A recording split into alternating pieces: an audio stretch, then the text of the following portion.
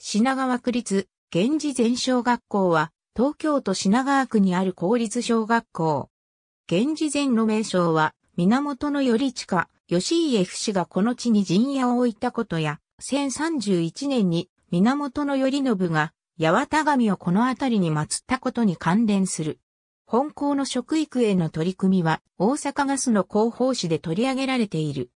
1928年12月1日、当時江原郡江原町大技中信技源氏前と呼ばれた地に、延山、大原、都省及び宮前省より分立し、源氏前尋常小学校として開校した。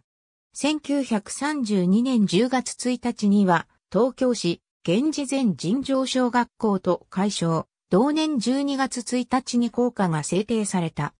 第二次世界大戦中には、学童疎開が行われ、終戦の年1945年の5月24日には、校舎は空襲により全焼した。戦後の1947年に、現在の名称である東京都品川区立源氏全小学校と改称された。この頃はまだ全焼した校舎の跡地に建てた仮校舎という造作であったが、1949年にはトタン吹き屋根に改築された。1968年から校舎の鉄筋化が開始され、1975年に工事は完了した。以降もたびたび改修工事は行われている。2003年9月17日よりスマイルスクールを実施している。2014年現在も現役の小学校である。